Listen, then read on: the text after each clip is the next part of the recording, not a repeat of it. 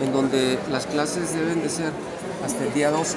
El día 12 ya terminamos clases en el nivel básico y los maestros van a estar hasta el día 26. Eh, se redujo, íbamos a salir el día 19, lo pasaron para el día 12. Entonces, después recibimos un comunicado de parte de la Secretaría de Educación en donde por cuestiones de calor, de este calor tan intenso que estamos sintiendo aquí en Ciudad Juárez, simplemente el día de ayer creo que llegamos a 45 grados centígrados, estaba la verdad muy pesado. Los maestros van a tener la oportunidad de ir adecuando sus clases. Comentaba la, doctora Sandra Gutiérrez ahorita en una entrevista que hoy, en donde nos comentaba que ah, puede ser posible que los maestros incluso, si hay la, la posibilidad, este, puedan tomar los niños clases desde su casa.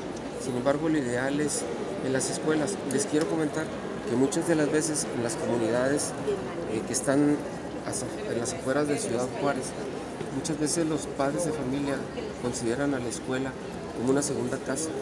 Y, si ellos trabajan, pues es muy, es muy importante para ellos mandar a sus hijos a la escuela, porque muchas de las veces tienen un mejor clima ahí en la institución.